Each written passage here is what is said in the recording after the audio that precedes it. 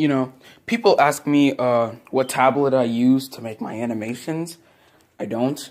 Some people ask me, uh, do you use a mouse? I don't. What I use is a Nintendo Switch controller.